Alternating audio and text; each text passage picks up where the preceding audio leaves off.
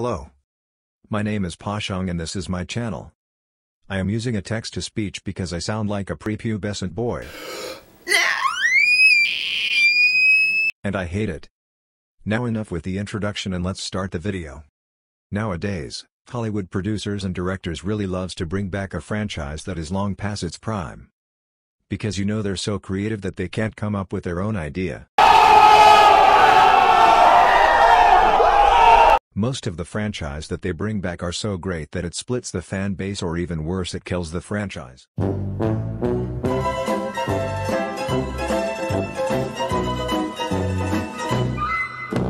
This video will show you how to properly revive a franchise that is stuck in production limbo. P.S. This video is for comedic satire and not for the faint of heart or easily offended. Meaning it's all beeping joke. Step 1. Break the main character. Breaking the main character means changing the core morality and values of the main character. By breaking the main character paves the way to the strong and powerful woman that will be the main character in the series that we are reviving, like in Watchmen, Star Wars, He-Man. And the list will go on.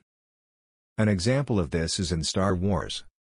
Luke Skywalker the good-natured Jedi that saved his father Darth Vader. Now turning Luke into a weak man that would rather kill Ben Solo than to save him. This step will change the character so much so that fans won't even recognize the character. You know the character that you hold near and dear to your heart. The character that inspire and motivate you in hard times. Here he is we bastardized him for you. Enjoy. Step 2. The series is female. You can't have a man as the star of the show. We are in the progressives era and all the main characters must be female or even better. A lesbian.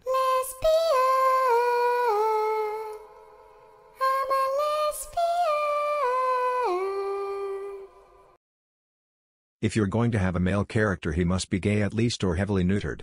Females are now the future. And no man will hold her slash them down. That's it for now. This would be a series so don't be worried there will be more. So thanks for watching or even just listening to the video. I would appreciate if you liked the video or even subscribe to the channel. Nonetheless thank you for your time,